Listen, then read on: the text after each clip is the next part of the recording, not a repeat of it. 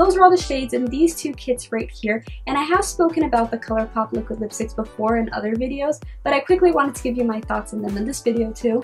Um, so yeah, I think they're really great. I feel like they're really comfortable on the lips. They are a little bit dry, but that doesn't bother me at all. But if it is something that bothers you, then I would just recommend putting on a little bit of chapstick before applying them, and I think that will take care of that.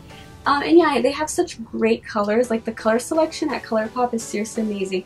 I honestly think they're like the brand that has the biggest variety of colors for liquid lipsticks, which is awesome. So you'll definitely find shades that you like.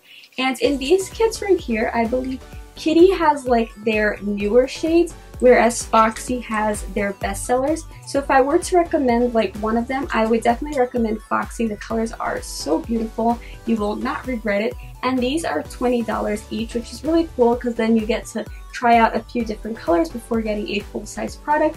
And if you do want to get the full-size liquid lipstick, then it's $6, which is super affordable. So I recommend it. If you get it, you will not regret it. So that's it. I really hope you guys enjoyed this video and that it was helpful in some way. If you did enjoy it, don't forget to give it a thumbs up. And please don't forget to subscribe if you haven't already so you can always see when I post new videos.